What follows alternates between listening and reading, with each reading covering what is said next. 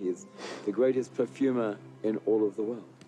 And then one day he's standing there and he goes, he smells a smell. It smells like peaches and it smells like girl, but it smells like something he has no idea of. He's cataloged every single scent, a million scents. And he follows the smell across the left bank onto the right bank in Paris. Comes to a window. It's a young virgin girl, about 14, 15, eating peaches. He looks at her. He has never smelled anything like her. And so he goes to the window and he grabs her and kills her while he's smelling her. And she dies. And then he goes about the task of making her into a perfume. and he does it for 20 years. he makes 20 perfumes out of 20 virgins. Until he's the most notorious murderer in the world. And they catch him and they're to behead him. He says, I have one last wish. Give me my bag. And he put all the perfumes into one. And he goes,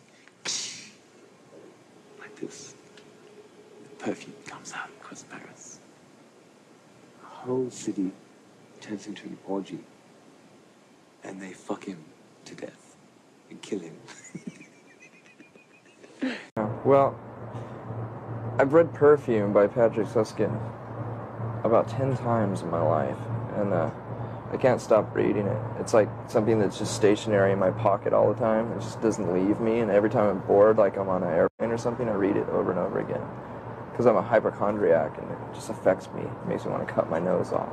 What's the book about? It's about this um, perfume apprentice in in um, France at the turn of the century, and he um, he uh, is disgusted basically with all humans, and he just can't get away from humans. So he goes on this trek, this uh, walk of death, where he just he goes into the rural areas where there's you know woods all over the place in the small villages, and, and he only travels by night, and um, he he just every time he smells human, like a fire from a far off way, you know, he'll um, he'll just get really disgusted and hide, and he just tries to stay away from people. and I kind of and they're to behead him.